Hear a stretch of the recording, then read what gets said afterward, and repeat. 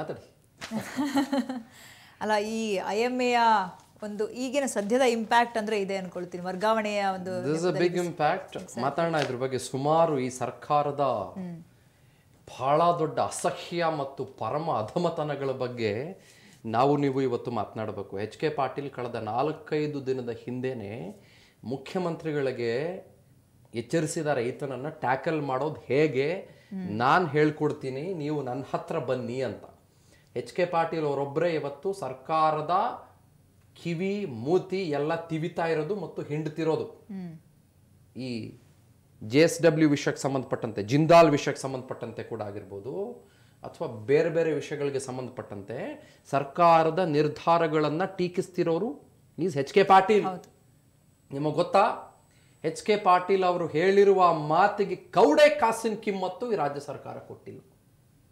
ಅವನನ್ನು ತಪ್ಪಿಸ್ಕೊಂಡು ಹೋಗೋದಕ್ಕೆ ನೀಟಾಗಿ ಸುಖದ ಸುಪ್ಪತ್ತಿಗೆ ಸೋಪಾನ, ರತ್ನಗಂಬಳಿ ಹಾಸ್ಬಿಟ್ಟು, ರೇಷ್ಮೆದು ಭಾಳ ದೊಡ್ಡದಾಗಿರುವ ಒಂದು ಕಂಬಳಿ ಹಾಸ್ಬಿಟ್ಟು, ಅದ್ರ ಮೇಲೆ ಹೂವು, ಗೀವು, ಎಲ್ಲ ಸೌಗಂಧಿಕ ಪುಷ್ಪ, ರೋಸು, ಮಲ್ಗೆ ಹೂವು, ಎಲ್ಲ ಕನಕಾಂಬ್ರ ಹೂವು, ಎಲ್ಲ ನೀಟಾಗಿ ಹಾಕ್ಬಿಟ್ಟು, ಬಾಪ, ಓಡೋಗು, ನಾನು ನಿನಗೆ ರೂಟ್ ತೋರಿಸ್ತೀನಿ ಅಂತ ಈ ಸರ್ಕಾರದವರು ಆತನಿಗೆ ಹೇಳ್ಕೊಟ್ಟು ಕಳಿಸ್ದಂಗೆ ನಮಗೆ ಕಾಣಿಸ್ತಾ ಇದೆ. ನನಗೆ ನಿಜಕ್ಕೂ ಭಾಳ ಇರಿಟೇಟ್ ಆಗೋದು ಮತ್ತು ಭಾಳ ಕೋಪ ತರಿಸೋದು ಈ ಸರ್ಕಾರ ಒಂದು ವಾರ ಆಯಿತು ಆತ ಎಸ್ಕೇಪ್ ಆಗಿ. ಕಳೆದ ಸೋಮವಾರ ಇವತ್ತು ನಾವು ಸೋಮವಾರಕ್ಕಿದ್ದೀವಿ seven days since he escaped that man Mansoor Ali Khan what is this government doing I want ask ಏನ್ ಮಾಡ್ತಾ ಇದೆ ಈ ಸರ್ಕಾರ? ಬರುವ ಆಕ್ರೋಶ ಮತ್ತು ಇರುವ ಅಸಹನೆ ಇದೆಲ್ಲ ತಡೆ ಹಿಡ್ಕೊಂಡು ಇವತ್ತು ಮಾತಾಡಬೇಕಾಗಿದೆ ಸಬಿತಾ. ಒಂದು ಸ್ಟೇಟ್ಮೆಂಟ್ ಮುಖ್ಯಮಂತ್ರಿಯಿಂದ ಬಂದಿದ್ಯಾ? ಒಂದು ಸ್ಟೇಟ್ಮೆಂಟ್ ಬಂದಿದೆ ಮುಖ್ಯಮಂತ್ರಿಗಳಿಂದ ಇದ್ರ ಬಗ್ಗೆ. ಯಾರಾದ್ರೊಬ್ರು ರೆಸ್ಪಾನ್ಸಿಬಲ್ ಆಗಿರೋರು ಇದ್ರ ಬಗ್ಗೆ ಚರ್ಚೆ ಮಾಡಿದಾರಾ? ಯಾರಾದ್ರೊಬ್ರು ಮಿನಿಸ್ಟರ್ ಇದ್ರ ಬಗ್ಗೆ ಮಾತಾಡಿದಾರಾ? ಆಮೇಲೆ ನಾನು ಬಹಳ ಸಲ ಪ್ರಶ್ನೆ ಕೇಳಬೇಕಾಗಿರೋದು ಶಿವಾಜಿನಗರದ ಏರಿಯಾದಲ್ಲಿ ನಡೆದಂಥ ಮೋಸ ಇದು ಒಪ್ಕೊಳ್ಳೋಣ. ಹಾಗಂದ ಮಾತ್ರಕ್ಕೆ ಶಿವಾಜಿನಗರ ಏರಿಯಾದ ಆ ಶಾಸಕರು ಮಾತ್ರ ಇದ್ರ ಬಗ್ಗೆ ಮಾತಾಡಬೇಕು ಅಂತ ಎಲ್ಲಾದರೂ ಅಲಿಖಿತ ನಿಯಮ ಬರೆದಿದ್ದಾರಾ? ಅಥವಾ ಅಲ್ಪಸಂಖ್ಯಾತರಿಗೆ ಏನಾದರೂ ಅನ್ಯಾಯ ಆದರೆ ಅಲ್ಪಸಂಖ್ಯಾತರಿಗೆ ಏನಾದರೂ ನೋವಾದರೆ ಅಲ್ಪಸಂಖ್ಯಾತ ಸಚಿವರು ಅಲ್ಪಸಂಖ್ಯಾತ ಎಂಪಿಗಳು ಅಲ್ಪಸಂಖ್ಯಾತ ಶಾಸಕರು ಅಲ್ಪಸಂಖ್ಯಾತ ಜನನಾಯಕರು ಅಲ್ಪಸಂಖ್ಯಾತ ಬ್ಯೂರೋಕ್ರೆಟ್ಗಳೇ ಮಾತಾಡಬೇಕು ಅಂತ ಎಲ್ಲಾದರೂ ಅಲಿಖಿತ ನಿಯಮ ಇದೆಯಾ? ಲಿಂಗಾಯತರಿಗೆ ಏನಾದರೂ ಸಮಸ್ಯೆ ಆದರೆ ಬಿ ಎಸ್ ಯಡಿಯೂರಪ್ಪನವರೇ ಮಾತಾಡಬೇಕು, ಎಂ ಬಿ ಪಾಟೀಲ್ ಅವರೇ ಮಾತಾಡಬೇಕು, ಇನ್ನೊಬ್ರು ಯಾರು ಆ ಸಮುದಾಯಕ್ಕೆ ಸೇರಿದವರೇ ಮಾತಾಡಬೇಕು, ಅಲ್ಲಿರುವ ಜನರಿಗೆ ಹೋಗಿ ಸಾಂತ್ವನ ಹೇಳಬೇಕು ಅಂತೆಲ್ಲಾದರೂ ಮಾತಿದೆಯಾ? ಒಕ್ಕಲಿಗರಿಗೆ ಯಾರಾದರೂ ಏನಾದರೂ ಸಮಸ್ಯೆ ಆದರೆ ಒಕ್ಕಲಿಗ ನಾಯಕರೇ ಹೋಗಿ ಮಾತನಾಡಬೇಕು, ದೇವೇಗೌಡರೇ ಹೋಗಿ ಮಾತಾಡಬೇಕು ಸದಾನಂದ ಗೌಡ್ರೇ ಹೋಗಿ ಮಾತನಾಡಬೇಕು ಅಂತ ಎಲ್ಲಾದರೂ ಯಾರಾದರೂ ಬರೆದು ಕಳಿಸಿದಾರಾ? ಯಾಕೆ ಅವರೆಲ್ಲ ನಮ್ಮ ರಾಜ್ಯದ ಜನ ಅಲ್ವಾ ಪಾಪ ಇವತ್ತು ನೋವು ಅನುಭವಿಸ್ತಾ ಇರೋರು? ಐ ವಂಚಿತರಾಗಿರೋರು ನಮ್ಮ ನಮ್ಮ ರಾಜ್ಯದ, ನಮ್ಮ ನಗರದ ಪಾಪ ನಮ್ಮ ಅಣ್ಣ ತಮ್ಮಂದ್ರಲ್ವಾ? ನಮ್ಮ ಸಹೋದರಿಯರಲ್ವಾ ಅವರೆಲ್ಲ? ನಮ್ಮ ತಂದೆ ಸಮಾನದವರಲ್ವಾ ನಮ್ಮ ತಾಯಿ ಸಮಾನದವರಲ್ವಾ ಅವರೆಲ್ಲರೂ ಕೂಡ? ಯಾಕೆ ಇದರಲ್ಲಿ ಜಾತಿ ರಾಜಕಾರಣ ಮಾಡ್ತೀರಿ ನೀವು? ಯಾಕೆ ಇದರಲ್ಲಿ ಧರ್ಮ ರಾಜಕಾರಣ ಮಾಡ್ತೀರಿ ನೀವು? ಯಾಕೆ ರೋಷನ್ ಬೇಗೆ ಹೋಗ್ಬಿಟ್ಟು ಅವ್ರಿಗೆ ಸಮಾಧಾನ ಮಾಡಬೇಕು? ಯಾಕೆ ಜಮೀರ್ ಅಹಮದ್ ಖಾನೆ ಹೋಗ್ಬಿಟ್ಟು ಸಮಾಧಾನ ಮಾಡಬೇಕು? ಯಾಕೆ ತನ್ವೀರ್ ಸೇಠೆ ಹೋಗಿ ಸಮಾಧಾನ ಮಾಡಬೇಕು? ಇವ್ರಿಗೇನಾಗಿದೆ? ಸಿದ್ದರಾಮಯ್ಯನವ್ರಿಗೆ ಏನಾಗಿದೆ ಸಮಾಧಾನ ಮಾಡೋದಕ್ಕೆ? ಅಲ್ಪಸಂಖ್ಯಾತರು ಅಹಿಂದ ಅಹಿಂದ ಅಂತ ಅವ್ರನ್ನ ವೋಟ್ ಬ್ಯಾಂಕ್ ಪಾಲಿಟಿಕ್ಸ್ ಮಾಡ್ಕೊಂಡಿದ್ದಾರೆ. ಸಿದ್ದರಾಮಯ್ಯನವರು ಒಂದ್ಸಲ ಹೋಗಿ ಮಾತಾಡಿದ್ದಾರೆ ಅವ್ರ ಹತ್ರ. ಅಲ್ಲಿ ಹಗಲು ರಾತ್ರಿ, ಅಹೋರಾತ್ರಿ ಧರಣಿ ಕೂತ್ಕೊಂಡಿದ್ದಾರೆ ಪಾಪ. ಹೆಣ್ಮಕ್ಳು ಹೊಟ್ಟೆ ಬಟ್ಟೆ ಕಟ್ಕೊಂಡು ಇವತ್ತು ಹೋರಾಟ ಮಾಡ್ತಾ ಇದ್ದಾರೆ. ಪುಟ್ ಪುಟ್ ಕೂಸಗಳನ್ನ ಕರ್ಕೊಂಬಂದು ಇವತ್ತಲ್ಲಿ ಹೋರಾಟ ಮಾಡ್ತಾ ಇದ್ದಾರೆ. ಸಿದ್ದರಾಮಯ್ಯನವರು ಹೋಗಿದಾರಾ ಅಲ್ಲಿ? ಎಚ್ ಡಿ ಕುಮಾರಸ್ವಾಮಿ ಅವ್ರ ಜಾಗಕ್ಕೆ ಹೋಗಿದಾರಾ ಎಂ ಬಿ ಪಾಟೀಲ್ ರಾಜ್ಯದ ಗೃಹ ಇಲಾಖೆ ನೋಡ್ಕೊಳ್ತಿರೋರು ಹೋಗಿದಾರಾ ಅಲ್ಲಿ ಆ ಜಾಗಕ್ಕೆ? ಯಾರೂ ಹೋಗಿಲ್ವಲ್ಲ ಯಾಕೆ? ಯಾಕೆ ವಿರೋಧ ಪಕ್ಷಗಳು ಕಳೆದ ಮೂರು ದಿನದಿಂದ ಅಷ್ಟೇ ಚರ್ಚೆ ಮಾಡ್ತಿರೋದು ಇದ್ರ ಬಗ್ಗೆ? ಸೋಮವಾರ ಅವರು ಚರ್ಚೆ ಮಾಡಿದ್ರ? ಮಂಗಳವಾರ ಇದ್ರ ಬಗ್ಗೆ ಮಾತನಾಡಿದ್ರ? ಮೌರ್ಯ ಸರ್ಕಲ್ ಎದುರುಗಡೆ ಕೂತ್ಕೊಂಡ್ರ? ಯಾವಾಗ ಮೀಡಿಯಾದಲ್ಲಿ ಇದು ಚರ್ಚೆ ಜೋರಾಯ್ತೋ, ಯಾವಾಗ ಇದ್ರ ಬಗ್ಗೆ ಬೇರೆ ಬೇರೆ ರೀತಿ ವ್ಯಾಖ್ಯಾನಗಳು ಶುರುವಾಯ್ತೋ, ಅವಾಗ ಯಡಿಯೂರಪ್ಪನವ್ರು ಬಾಯ್ಬಿಟ್ರು. ಅವಾಗ ಸಿ ಟಿ ರವಿ ಬಾಯ್ಬಿಟ್ರು. ಅವಾಗ ರವಿ ಸುಬ್ರಹ್ಮಣ್ಯ ಬಾಯ್ಬಿಟ್ರು. ಅವಾಗ ಇನ್ನೊಬ್ರು ಯಾರೋ ಬಾಯ್ಬಿಟ್ರು. ಅವ್ರು ಅದ್ರ ಬಗ್ಗೆ ಮಾತನಾಡಿದ್ರು. ಯಾಕ್ರಿ? ನಿಮಗೆ ಓಟ್ ಬೇಕು ಅಂತ ಅನ್ನುವಾಗ ನೀವು ಎಲ್ಲರ ಕಾಲು ಹಿಡಿತೀರಿ, ಎಲ್ಲರ ಮನೆಗೆ ಹೋಗಿ ಕೈ ಮುಗಿತೀರಿ ನೀವು. ಅಲ್ಪಸಂಖ್ಯಾತರ ಓಟ್ಗಳು ಬೇಕು ಅಂತೀರಿ, ಹಿಂದುಳಿದ ವರ್ಗದ ಓಟ್ಗಳು ಬೇಕು ನಿಮಗೆ ಅಂತ ಹೇಳ್ತೀರಿ. ಏನು ಕೇಳಿದ್ರು ಅದು ಮಾಡ್ತೀರಿ ನೀವು. ಪಾಪ ಅವ್ರಿಗೆ ಅನ್ಯಾಯ ಆದಾಗ ಆ ಶಾಸಕರೇ ಹೋಗಬೇಕು.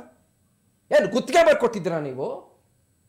ಅವ್ರಿಗೆ ಸಮಾಧಾನ ಮಾಡೋದಕ್ಕೆ ನಿಮ್ಗೆ ಯಾರಿಗೂ ಹೋಗೋಕ್ಕಾಗೋದಿಲ್ವಾ? ಈ ಸರ್ಕಾರದವ್ರು ಎರಡೆರಡು ಪಾರ್ಟಿಗಳು ಸೇರ್ಕೊಂಡು ಸರ್ಕಾರ ನಡೆಸ್ತಿದ್ರೆ ನನಗೆ ಹೇಳಿ ಎಷ್ಟು ಜನ ಜಾಗಕ್ಕೆ ಹೋಗಿ ಇವತ್ತು ಸಮಾಧಾನ ಮಾಡಿದ್ದಾರೆ ಹೇಳಿ ನನಗೆ.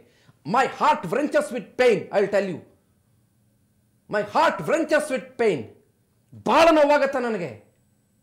ಯಾರು ಒಬ್ಬರು ಹೋಗೋದಿಲ್ವಲ್ರಿ? ಪಾಪ ಅವ್ರನ್ನೆಲ್ಲ ಬೀದಿ ಪಾಲ್ ಮಾಡಿಟ್ಟಿದ್ದೀರಲ್ರಿ ನೀವು. ಆಮೇಲೆ ನಾವು ಮಾತಾಡ್ತೀವಿ, ಅದೇ ಯಾರೋ ಮುಸ್ಲಿಂ ಶಾಸಕರೊಬ್ರು, ಯಾರೋ ಮಿನಿಸ್ಟರ್ ಮುಂದೆ ಹೋಗ್ಬಿಟ್ಟು ಅವನಿಗೆ ಯಾವನಿಗೋ ಆರ್ನೂರು ಕೋಟಿ ಕೊಡಿಸ್ಬೇಕು ಅಂತ ತಯಾರಿ ಮಾಡ್ಕೊಂಡಿದ್ದಂಥ ಮನುಷ್ಯರು ನೀವೆಲ್ಲ? ಅವನ್ಗೆ ಆರ್ನೂರು ಕೋಟಿ ಕೊಡ್ಸೋದಕ್ಕೆ ನೀವು ಪ್ಲಾನ್ ಮಾಡ್ಕೊಂಡಿದ್ದವರು. ಪಾಪ ಅದೇ ಸಾವಿರಾರು ಕೋಟಿ ಕಳ್ಕೊಂಡಿರುವ ಅಮಾಯಕ ಜನರ ಹತ್ರ ನಿಮ್ಗೆ ಹೋಗೋದಕ್ಕೆ ಏನ್ರಿ ನಿಮ್ಗೆ ಸಮಸ್ಯೆ? ಯಾಕ್ರಿ ಹೋಗಿ ಮಾತಾಡ್ಸೋದಿಲ್ಲ ಅವ್ರನ್ನ ಯಾಕ್ರಿ ಪುಟ್ಟ ಕೂಸುಗಳು ಊಟ ಮಾಡಿದ್ವ ಅಂತ ನೀವು ಕೇಳೋದಿಲ್ಲ? ಅದೇ ರಂಜಾನ್ ಟೈಮಲ್ಲಿ ಇಫ್ತಾರ್ ಕೂಟದ ಸಂದರ್ಭದಲ್ಲಿ ನೀವು ಅವರ ಸಂಪ್ರದಾಯದಂತೆ ನಡೆದುಕೊಳ್ಳೋದಕ್ಕೆ ಹೋಗ್ಬಿಟ್ಟು ನಾಟಕ ಮಾಡ್ತೀರಿ ನೀವು? ನಾಟಕ ಮಾಡಲ್ವಾ ನೀವು? ಸಿದ್ದರಾಮಯ್ಯನವರು, ಎಚ್ ಡಿ ಕುಮಾರಸ್ವಾಮಿ ಅವರು ಇನ್ನೊಬ್ರು, ಅವರು, ಇವರು, ಅವರೆಲ್ಲ ಹೋಗಿ ನಾಟಕ ಮಾಡಲ್ವಾ? ಅದೇ ಜನರ ಜೊತೆಗೆ ಪಾಪ. ಅವ್ರ ಎಮೋಷನ್ಸ್ಗಳನ್ನು ಇವರು ದುರ್ಬಳಕೆ ಮಾಡ್ಕೊಳ್ಳೋದಿಲ್ವಾ? ಯಾಕೆ ಧರ್ಮ ಅಂತ ನೀವು ಸುಮ್ಮನೆ ಬಿಟ್ಟಿದ್ದೀರಾ ಅವ್ರನ್ನ? ಬೇರೆ ಧರ್ಮಕ್ಕೆ ಸೇರಿದವರು, ನಾವು ಆ ಧರ್ಮಕ್ಕೆ ಸೇರಿದವರಲ್ಲ ಅಂತ ಜಾತ್ಯಾತೀತ ನಿಲುವು ಹೊಂದಿರುವ ನೀವು ಅವ್ರನ್ನ ಹಾಗೆ ಸುಮ್ಮನೆ ಇದ್ದೀರಾ? ಪಾಪ ಅವ್ರನ್ನ ನೀವು ಬೀದಿಗೆ ತಳ್ಳಿದ್ದೀರಾ ಅಮಾಯಕರನ್ನ? ಯಾಕೆ ಇವತ್ತು ಟಿವಿ ಚಾನೆಲ್ಗಳು ಮಾತ್ರ ಅವರ ಪರವಾಗಿ ನಿಂತ್ಕೊಳ್ಬೇಕಾ?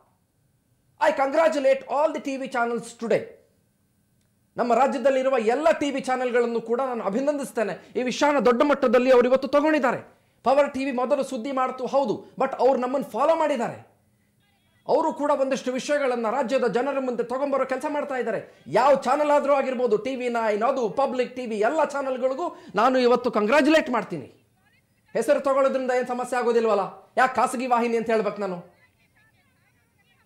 ಯಾಕೆ ಹೇಳಬೇಕು? ಎಲ್ಲ ಚಾನಲ್ಗಳು they have done their best ಯಾಕೆ ಟಿ ವಿ ಚಾನಲ್ಗಳು ಮಾತ್ರ ನಿಂತ್ಕೋಬೇಕಾ ಇವತ್ತು? ಇವ್ರು ಯಾರು ಓಟ್ ಹಾಕ್ಸ್ಕೊಂಡವ್ರು, ಇವ್ರು ಯಾರಿಗೂ ಕೂಡ ನೈತಿಕತೆ ಅನ್ನೋದಿಲ್ವಾ?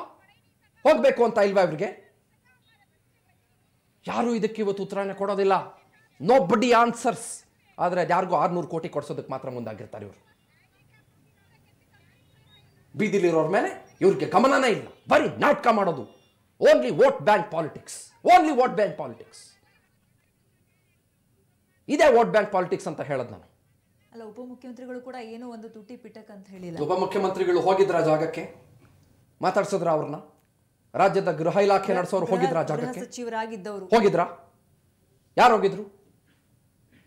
ಮತ್ತು ಆಯ್ತ್ರಿ ಧರ್ಮದ ಬಗ್ಗೆ ಮಾತಾಡ್ತೀರಿ ಅವರದ್ದೇ ಧರ್ಮದ ಬಹಳ ಜನ ಶಾಸಕರಿದ್ದಾರಲ್ಲ ಹೋಗಿದ್ರ. ಹೋಗಿದ್ರೇನ್ರಿ? ನಾವೆಲ್ಲ ಒಂದು ಒಂದು ಒಂದು ಒಂದು ಅಂತ ನೀವು ಬರೀ ಅವ್ರನ್ನ ವೋಟ್ ಬ್ಯಾಂಕ್ ಮಾಡ್ಕೊಂಡಿದ್ರಲ್ಲ ಹೋಗಿದ್ರೇನ್ರಿ? ಹೋಗೋದೇ ಇಲ್ಲ. ಪಾಪ ಇವತ್ತು ಒಂದು ವಾರ ಆಯಿತು, ಬೀದಿಗೆ ಬಂದಿದ್ದಾರೆ. ಹೆಣ್ಮಕ್ಳು ರೀ ಪಾಪ. ಇವತ್ತು ಕ್ಯಾಂಡಲ್ ಲೈಟ್ ಹಿಡ್ಕೊಂಡು ಪಾಪ, ಎಂಟು ಗಂಟೆ, ಒಂಬತ್ತು ಗಂಟೆ, ರಾತ್ರಿ ಎಷ್ಟೊತ್ತಿಗೆ ಕ್ಯಾಂಡಲ್ ಲೈಟ್ ಮಾರ್ಚ್ ಮಾಡ್ತಿದ್ದಾರೆ ಪಾಪ. ಹೊಟ್ಟೆ ಉರಿಯಲ್ವೇನ್ರಿ? ಕಣ್ಣಲ್ಲಿ ನೀರು ಬರಲ್ವಾ ನಮಗೆ? They've all lost lakhs of rupees ಎಲ್ಲ ಬಡವ್ರು ಪಾಪ. ಯಾರೋ ಕೇಳ್ತಾ ಇದ್ರು ಬಿ ಪಿ ಎಲ್ ಕಾರ್ಡ್ ತಗೊಳ್ಬೇಕು ಅವರಿಂದ. ಅವ್ರು ಹೆಂಗೆ ಎರಡು ಲಕ್ಷ ಇನ್ವೆಸ್ಟ್ ಮಾಡಿದ್ರು ಅಂತ. ಹೆಂಗೋ ಕಷ್ಟಪಟ್ಟು ಹೊಟ್ಟೆ ಬಟ್ಟೆ ಕಟ್ಬಿಟ್ಟು ಐದೈದು ವರ್ಷ, ಆರಾರು ವರ್ಷದಿಂದ ಕೂಡಾಕಿರೋ ದುಡ್ಡನ್ನ ಎಷ್ಟೋ ಜನ ಹೆಣ್ಮಕ್ಳು ಇಟ್ಟಿದ್ದಾರೆ ಇವತ್ತು. Don't talk about their morality I say today ಅವರ ಮೊರಾಲಿಟಿ ಬಗ್ಗೆ ನೀವು ಮಾತನಾಡಬೇಡಿ. ಬಿಸಿ ಬಿರಿಯಾನಿ ತಿಂತೀರಿ ನೀವು ನೀವು ಅವ್ರ ಹತ್ರ ಹೋಗ್ಬಿಟ್ಟು ನೀವು ಜ್ಯೂಸ್ ಕುಡಿತೀರಿ ನೀವು. ನೀವು ಹೇಳ್ತಾ ಇದ್ರಿ, ಸುನಿಲ್ ಕುಮಾರ್, ಪೊಲೀಸ್ ಆಯುಕ್ತರಾಗಿದ್ದಂಥವ್ರು. ನಿರ್ಗಮಿತ ಪೊಲೀಸ್ ಆಯುಕ್ತ ಸುನಿಲ್ ಕುಮಾರ್. ಒಂದು ಸ್ಟೇಟ್ಮೆಂಟ್ ಕೊಟ್ಟಿದ್ದಾರಾ ಪ್ರೆಸ್ ಮುಂದೆ ಬಂದಿದ್ದವರೆಗೂ ಒಂದು ಸ್ಟೇಟ್ಮೆಂಟ್ ಕೊಟ್ಟಿದ್ದಾರಾ? ಒಂದು ವಾರ ಆಯಿತು ಮಾತಾಡಿದ್ದೀರಾ ನೀವು? ಮಾತಾಡಿದ್ದೀರಾ ಸರ್ ನೀವು? ಇವತ್ತು ಅಲೋಕ್ ಕುಮಾರ್ ಅವ್ರು ಬಂದಿದ್ದಾರೆ ನನಗೆ ಅವ್ರ ಮೇಲೆ ಭಾಳ ಗೌರವ ಇದೆ. I respect him a lot sir ನೀವು ಮಾತಾಡಬೇಕು ಇವತ್ತು ಇದ್ರ ಬಗ್ಗೆ. ನೀವು ಹೂಡಿಕೆದಾರರಿಗೆ ಹೇಳಬೇಕು ನೀವು ಏನು ಶತ ಪ್ರಯತ್ನ ಮಾಡ್ತಿದ್ದೀರಿ you have to talk sir ಮಾತಾಡಿದಾರೆ ನೋಡ್ಕೊಂಡ್ ಬಂದ್ಬಿಡೋಣ ಏನು ಹೇಳ್ತಿದ್ದಾರೆ ಅಂತ ನಮ್ಮ ನೂತನ ಆಯುಕ್ತರು. ಸೊ ನೂತನ ಆಯುಕ್ತರು ಪ್ರಮಾಣ ವಚನ ಸ್ವೀಕರಿಸಿದ ನಂತರದಲ್ಲಿ ಅಥವಾ ಆ ಹುದ್ದೆಗೆ ಆಯ್ಕೆಯಾದ ನಂತರದಲ್ಲಿ ಥ್ಯಾಂಕ್ ಯು ನಾನು ಇದ್ರ ಬಗ್ಗೆ ಪರಿಶ್ರಮ ಪಡ್ತೀನಿ ಅಂತ ನಮ್ಮ ಪ್ರವೀಣ್ ರಾವ್ ಅವ್ರ ಜೊತೆಗೆ ಮಾತನಾಡಿರೋದಷ್ಟೇ ಅಲ್ಲ. ಅವರು ಒಂದು ಸುದ್ದಿಗೋಷ್ಠಿ ಕರಿಬೇಕು. ನಾವು ಹೋಗಿ ಮೈಕ್ ಹಿಡಿದಾಗ ಮಾತಾಡಿರೋದಲ್ಲ. ಒಂದು ಪ್ರೆಸ್ ಮೀಟ್ ಮಾಡಬೇಕು. ಪ್ರೆಸ್ ಮೀಟ್ ಅಲ್ಲಿ ಸರ್ಕಾರದ ಪ್ಲಾನ್ ಆಫ್ ಆಕ್ಷನ್ ಏನು? ಅಲ್ಲಿರೋ ಜನಕ್ಕೆ ಭರವಸೆ ಮೂಡಿಸಬೇಕು first he has to do it I hope you will do it very soon ಜನ ಗೊತ್ತಾಗಬೇಕಲ್ವಾ? ಮೈಕ್ ಹಿಡ್ದಾಗ ಮಾತಾಡೋದಲ್ಲ ಸಬಿತಾ ಅವರೇ. ನೋ ಜನ ಗೊತ್ತಾಗ್ಲಿ. ಸುನಿಲ್ ಕುಮಾರ್ ಅವರ ಮೌನ ಏನ್ ಹೇಳ್ತಿದೆ ಸರ್ ಅವರ ಆ ಹೆಸರು ಕೇಳಿ ಬರ್ತಾ ಇದೆ ಒಂದು ಜ್ಯೂಸ್ ಕುಡಿದಿದ್ದು ಹೇಳ್ತಾ ಇದೆ. ಸ್ಪಷ್ಟನೆ ಕೊಡ್ಬೇಕು ಅಂತ ಅನಿಸ್ತಾ ಇಲ್ವಾ ಅವ್ರಿಗೆ ಹಾಗಾದ್ರೆ? ಯಾಕೆ ಕೊಡ್ತಾರ್ರಿ ಸ್ಪಷ್ಟನೆ? ಇವತ್ತು ನೋಡಿ ಇದು ಭಾಳ ನೋವಾಗೋದು ನಮಗೆ ಇಂಥದ್ದೇ ವಿಷಯಗಳು ಭಾಳ ನೋವಾಗೋದ್ರಿ. ಭಾಳ ನೋವಾಗೋದು ಇಂಥದ್ದೇ ವಿಷಯಗಳು ಕಣ್ರಿ. Nobody takes care of them nobody talks about them nobody is concerned about them ಅಮಾಯಕ ಜನರನ್ನು ಮೋಸ ಮಾಡಿಬಿಡ್ಬೋದು ಅಂತ ಅವನು ಯಾವನೋ ಧೂರ್ತ ಮನ್ಸೂರ್ ಅಲಿ ಖಾನ್ ಅಂತ ಅನ್ನೋನು ಎಸ್ಕೇಪ್ ಆಗಿದ್ರೆ ಅವನ ಕಬಂಧ ಬಾಹುಗಳಿಗೆ ಚಾಚ್ಕೊಂಡು ಆ ಕಬಂಧ ಬಾಹುಗಳನ್ನು ಕೈಯಲ್ಲಿ ಹಿಡಿದುಕೊಂಡು ಜೋತಾಡ್ತಿರೋರು ಇವತ್ತು ಸಾವಿರಾರು ಜನ ಬ್ಯೂರೋಕ್ರಾಟ್ಗಳು ಮತ್ತು ರಾಜಕಾರಣಿಗಳು ಮತ್ತು ಇಡೀ ಸಿಸ್ಟಮ್. ಹೀಗಾದರೆ ಅಲ್ಲಿರೋ ಜನಕ್ಕೆ ಯಾವಾಗ ಮತ್ತು ಎಲ್ಲಿಂದ ಅವರಿಗೆ ಭರವಸೆ ಮಾಡಬೇಕು ಸಬಿತಾ ಇಡೀ ಸಿಸ್ಟಮ್ ಮೇಲೆ ಎಲ್ಲಿಂದ ಪಾಪ ಅವ್ರಿಗೆ ನಂಬಿಕೆ ಬರಬೇಕು? ಈ ಥರದ ಫುಟೇಜ್ಗಳನ್ನು ನೋಡಿದ್ರೆ ಎಲ್ಲಿ ನಂಬಿಕೆ ಬರಬೇಕು ರೀ ಸಬಿತಾ ಅವ್ರಿಗೆ ಓಕೆ ಅಲೋಕ್ ಕುಮಾರ್ ಮಾತಾಡಿದ್ದಾರೆ ಪ್ರವೀಣ್ ಜೊತೆ ನೂತನ ಪೊಲೀಸ್ ಆಯುಕ್ತರು ಬೆಂಗಳೂರು ಪೊಲೀಸ್ ಆಯುಕ್ತರು ಅಲೋಕ್ ಕುಮಾರ್ ಅವ್ರ ಜೊತೆ ನಮ್ಮ ಪ್ರತಿನಿಧಿ ಪ್ರವೀಣ್ ರಾವ್ ಚಿಟ್ ಚಾಟ್ ಮಾಡಿದ್ದಾರೆ. ಬನ್ನಿ ಚಂದನ ಚಂದನ್ ಅವ್ರು ಹೇಳಿದಾಗ ಏನ್ ಹೇಳಿದ್ದಾರೆ ಏನ್ ಭರವಸೆ ಕೊಡ್ತಿದ್ದಾರೆ ಅವರು? ನೋಡ್ಕೊಂಬರೋಣ. ನೂತನ ಪೊಲೀಸ್ ಆಯುಕ್ತರಾದಂತಹ ಅಲೋಕ್ ಕುಮಾರ್ ಅವರು ನಮ್ಮ ಜೊತೆ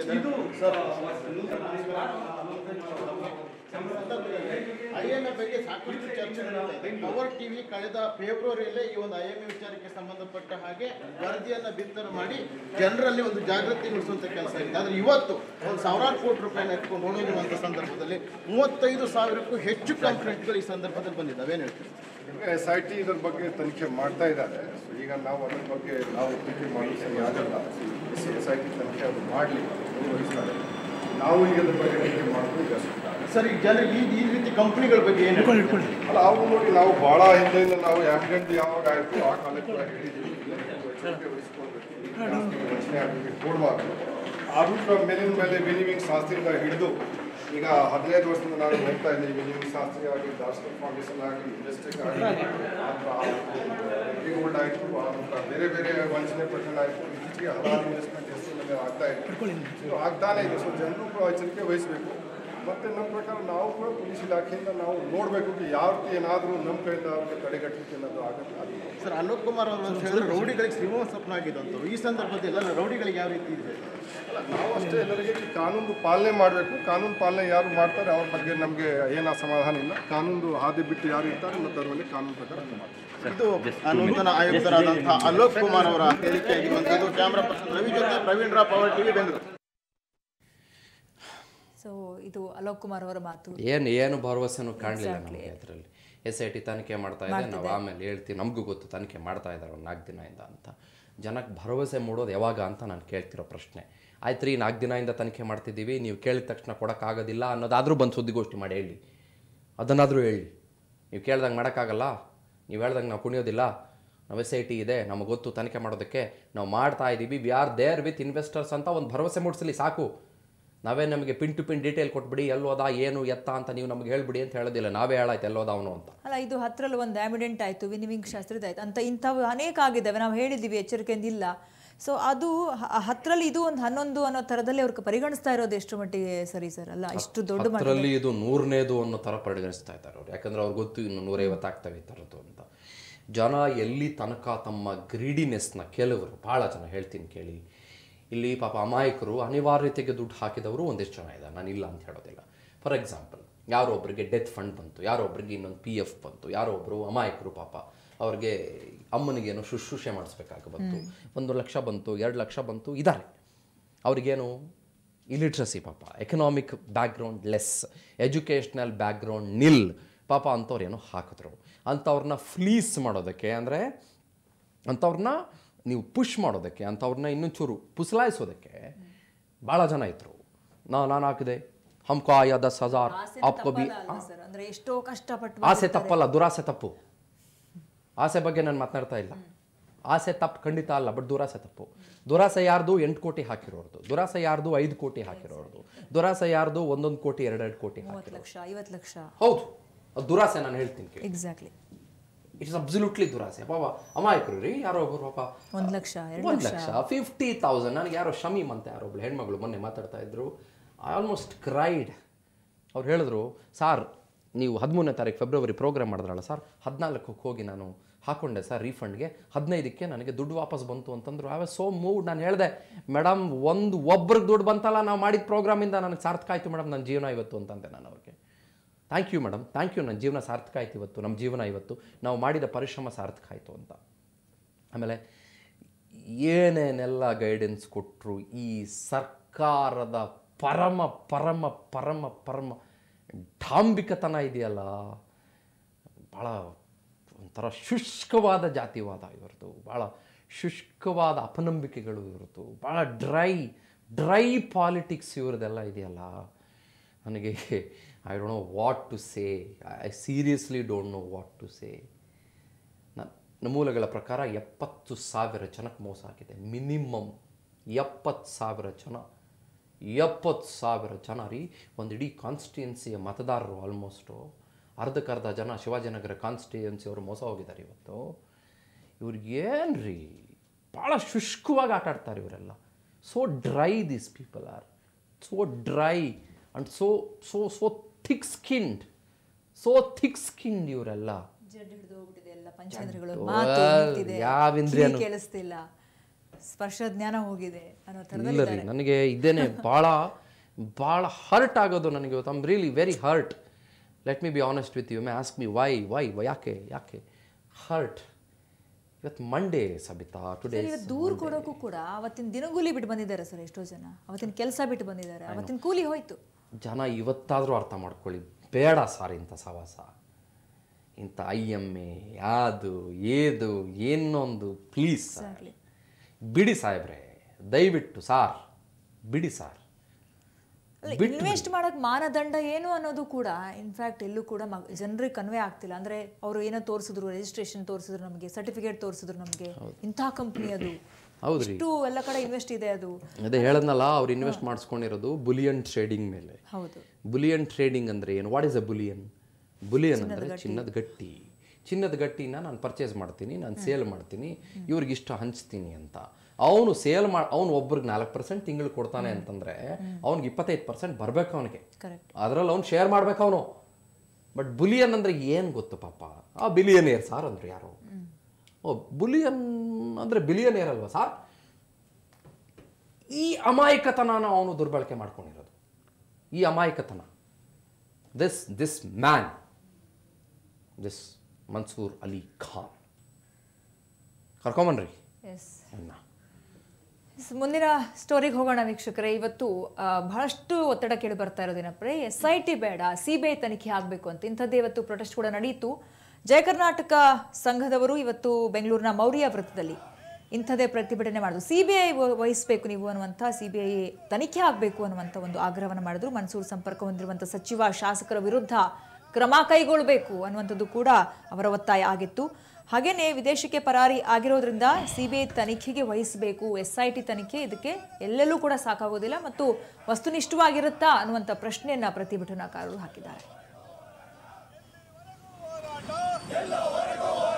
ಬೇಕೇ ಬೇಕು ನ್ಯಾಯ ಬೇಕು ಬೇಕೇ ಬೇಕು ನ್ಯಾಯ ಬೇಕು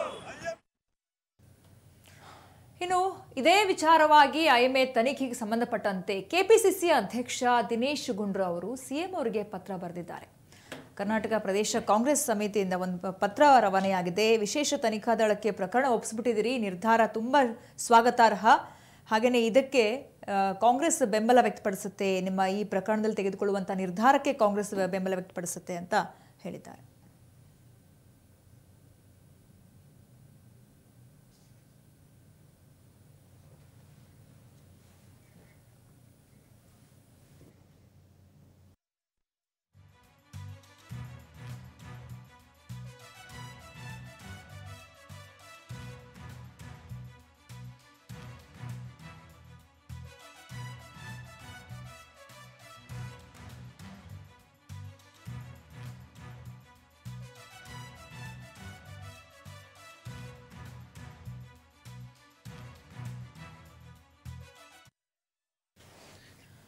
ಮನ್ಸೂರ್ ಅಲಿ ಖಾನ್ ಯಾರ್ರಿ? ಅವ್ರು ಯಾರು ನಂಗೆ ಗೊತ್ತೇ ಇಲ್ಲ. ಹೀಗಂತ ಹೇಳಿದವರು ಪ್ರಭಾವಿ ನಾಯಕರು, ಮನ್ಸೂರ್ ಅಲಿ ಖಾನ್ ಜೊತೆಗೆ ಫೋಸ್ ಕೊಟ್ಟಂತಹ ನಾಯಕರು. ಹಾಗೇನೆ ಇವರಿಗೆ ಗೊತ್ತಿಲ್ಲ ಅನ್ನುವಂಥ ವಿಚಾರ ಜನಕ್ಕೆ ಗೊತ್ತಾಗಿದ್ದು ಯಾವಾಗ ಅಂತಂದ್ರೆ ಅವ್ರ ಫೋಟೋ ನೋಡಿದ ಮೇಲೆ. ಎಕ್ಸಾಕ್ಟ್ಲಿ ಮಾಜಿ ಸಿ ಎಂ ಸಿದ್ದರಾಮಯ್ಯ ಅವರು ಇವತ್ತು ದೆಹಲಿಯಲ್ಲಿ ಹೇಳಿದಂಥ ಒಂದು ಉತ್ತರ ಇದು. ಮನ್ಸೂರ್ ಅಲಿ ಖಾನ್ ಯಾರಂತ ಗೊತ್ತೇ ಇಲ್ಲ, ಯಾವುದೋ ಕಾರ್ಯಕ್ರಮದಲ್ಲಿ ನೋಡಿದ್ದೆ ಅಂತ. ಅವ್ರ ಮಾತು ನಿಜಾನ ನೋಡ್ಕೊಂಬರೋಣ ಬನ್ನಿ. ಮನ್ಸೂರ್ ಖಾನ್ ಅವರು ಬಹಳ ಉದಾರ ಮನಸ್ಸಿನಿಂದ ಇರ್ತಕ್ಕಂಥವ್ರು. ಧರ್ಮ, ದಾನ, ಧರ್ಮ ಮಾಡ್ತಕ್ಕಂಥ ಮನಸ್ಸಿದೆ.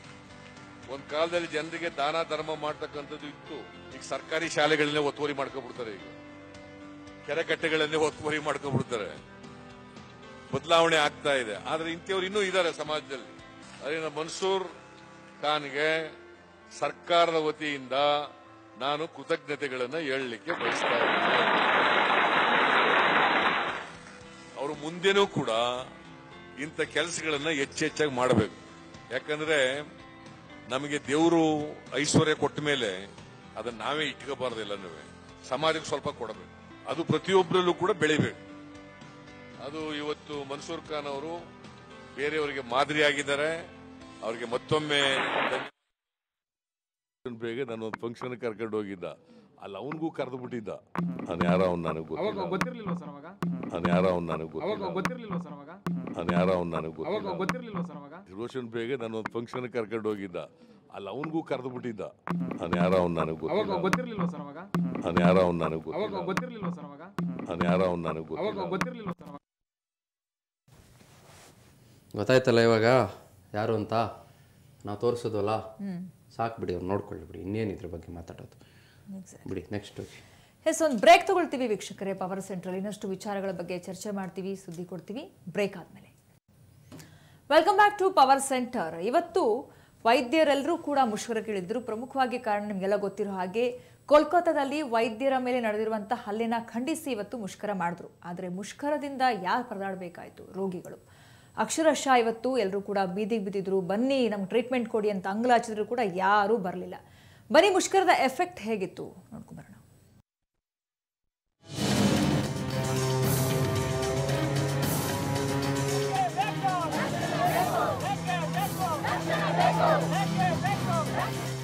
ನವಜಾತ ಶಿಶುಗೂ ಸಿಗಲಿಲ್ಲ ಔಷಧಿ. ಚಿಕಿತ್ಸೆ ಸಿಗದೆ ಪರದಾಡಿದ್ವು ಕಂದಮ್ಮಗಳು. ಆಸ್ಪತ್ರೆಯೊಳಗೆ ಬಿಡಲಿಲ್ಲ ಅಂತ ಹೊರಗೆ ಮಲಗಿದ್ರು ರೋಗಿಗಳು. ಇದು ವೈದ್ಯರು ಮಾಡಿದ ಮುಷ್ಕರದ ಎಫೆಕ್ಟ್.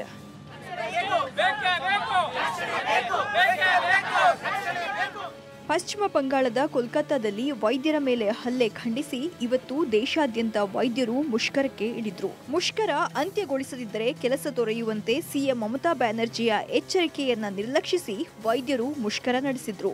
ಈ ಮುಷ್ಕರ ಬಿಜೆಪಿ ಪ್ರೇರಿತ ಧರಣಿ ಎಂದು ಮಮತಾ ಬ್ಯಾನರ್ಜಿ ಆರೋಪಿಸಿದ್ರು.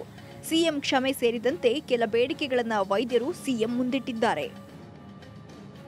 ಇತ್ತ ಬೆಂಗಳೂರಿನ ಎಂಎಸ್ ರಾಮಯ್ಯ ಆಸ್ಪತ್ರೆ, ಶೇಖರ್ ಆಸ್ಪತ್ರೆ ಪೋರ್ಟಿಸ್ ಆಸ್ಪತ್ರೆ, ಕಿಮ್ಸ್, ಅಪೋಲೋ ಮುಂತಾದ ಖಾಸಗಿ ಆಸ್ಪತ್ರೆಗಳಲ್ಲದೆ ವಿಕ್ಟೋರಿಯಾ, ನಿಮಹನ್ಸ್ ಇಎಸ್ಐ ಕಿದ್ವಾಯ್ ಮುಂತಾದ ಸರ್ಕಾರಿ ಆಸ್ಪತ್ರೆಗಳ ಎದುರು ಕೂಡ ರೋಗಿಗಳು ಆತಂಕದಲ್ಲೇ ಕಳೆದರು.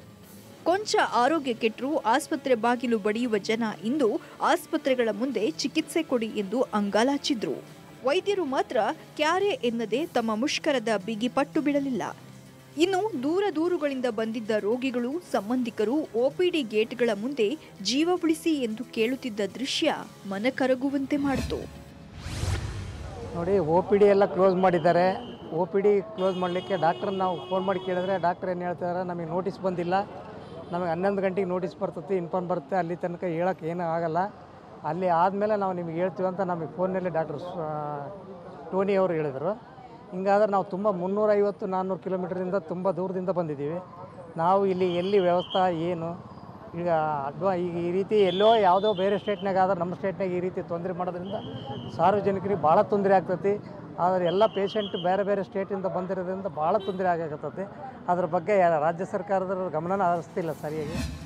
ವೈದ್ಯರು ಟೌನ್ ಹಾಲ್ ಬಳಿ ದೊಡ್ಡ ಸಂಖ್ಯೆಯಲ್ಲಿ ಸೇರಿ ಪ್ರತಿಭಟನೆಯನ್ನ ನಡೆಸಿದ್ರು. ತಮ್ಮ ಕಷ್ಟಗಳೇನು, ಅದಕ್ಕೆ ಯಾವ ಬಗೆ ಪರಿಹಾರವನ್ನ ನೀಡಬೇಕು ಎನ್ನುವುದರ ಬೀದಿ ನಾಟಕವನ್ನು ಮಾಡಿದ್ರು.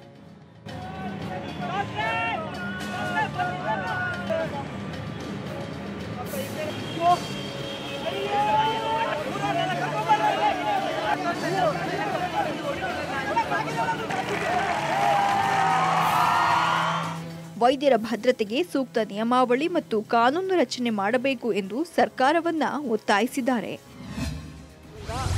ಈಗ ದೇಶದಾದ್ಯಂತ ಈ ದಿನ ಸಾಂಕೇತಿಕವಾಗಿ ವೈದ್ಯರ ಮೇಲೆ ದಿನೇ ದಿನೇ ಪ್ರತಿದಿನ ನಿರಂತರವಾಗಿ ನಡೆಯುತ್ತಿರುವ ದೌರ್ಜನ್ಯ ಹಾಗೂ ಹಲ್ಲೆಯಿಂದ ಬೇಸತ್ತು ಈ ವೃತ್ತಿಯೇ ಒಂದು ದೊಡ್ಡ ಕಂಟಕವಾಗಿರೋ ರೀತಿ ನಡೀತಾ ಇರೋದರಿಂದ ನಾವು ಎಲ್ಲರಿಗೂ ಪ್ರಜೆಗಳಿಗೆ ಒಂದು ಅವೇರ್ನೆಸ್ ತರಕ್ಕೋಸ್ಕರ ಈ ದಿನ ದೇಶದಾದ್ಯಂತ ಐ ಎಂ ಎ ಮುಖಾಂತರ ಒಂದು twenty four hours O P D ಬಂದ್ ಮಾಡಿದ್ದೇವೆ. ಬೆಳಗ್ಗೆ ಆರು ಗಂಟೆಯಿಂದ ನಾಳೆ ಬೆಳಗ್ಗೆ ಆರು ಗಂಟೆವರೆಗೂ ಒ ಪಿ ಡಿ ಬಂದ್ ಮಾಡಿದ್ದೇವೆ.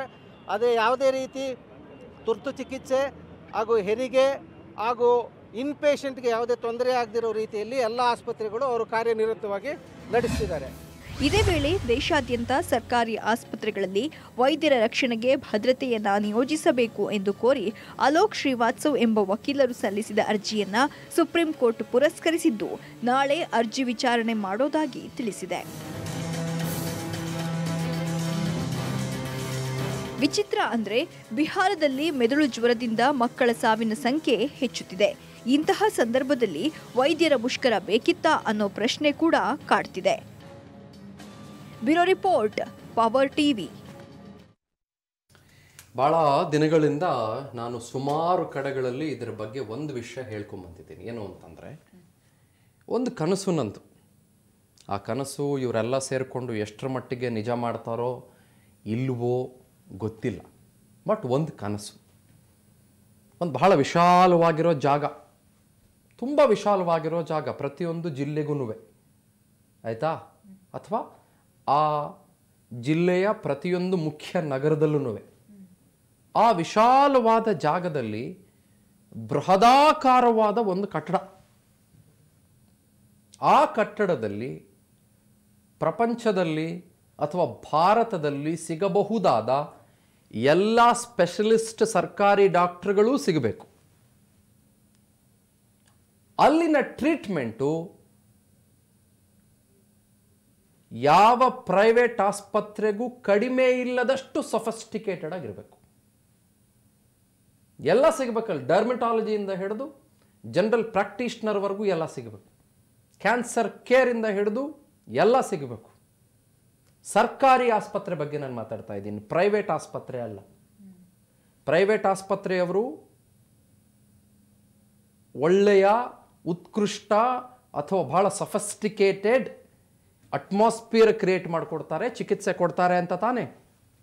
ನಾವು ಇವತ್ತು ಅವ್ರ ಬಗ್ಗೆ ಇಷ್ಟೊಂದು ಮಾತಾಡ್ತಿರೋದು? ಸ್ಪೆಷಾಲಿಟಿ ಅಂತ. ಯಾಕೆ ಒಂದು ಸರ್ಕಾರದ ಪ್ರಯತ್ನವಾಗಬಾರದು ಜನರಿಗೆ ಆರೋಗ್ಯ ದೊರಕಿಸಿಕೊಡುವಲ್ಲಿ? ಭೂತಾನ್ನಂಥ ಪುಟ್ಟ ರಾಷ್ಟ್ರದಲ್ಲಿ ಕೆಲವು ಲಕ್ಷಗಳಷ್ಟು ಜನಸಂಖ್ಯೆಗೆ ಇರೋದು ಕೇವಲ ಕೆಲವು ನೂರುಗಳಷ್ಟು ಡಾಕ್ಟರ್ಗಳು. ದೇವ್ರ ಥರ ನಿಜವಾಗಿಯೂ ನೋಡ್ತಾರೆ ಸುಮ್ಮನೆ ಬಾಯಿಗೆ ಹೇಳೋದಲ್ಲ. Doctor and teachers are most respected in Bhutan doctors ಮತ್ತು teachers and everywhere everywhere across the globe ಯಾಕೆ ಸರ್ಕಾರ ಆ ಥರದ್ದೊಂದು ಪ್ರಯತ್ನ ಕೈ ಹಾಕಬಾರ್ದು? ನಮ್ಮಲ್ಲಿದೆ ವಿಕ್ಟೋರಿಯಾ ಒಳಗಡೆ P M S S Y ಅಂತ ಒಂದು ಆಸ್ಪತ್ರೆ ಇದೆ. ಭಾಳ ಜನ ಗೊತ್ತಿಲ್ಲ, ಹೇಳ್ತೀನಿ ಕೇಳಿ.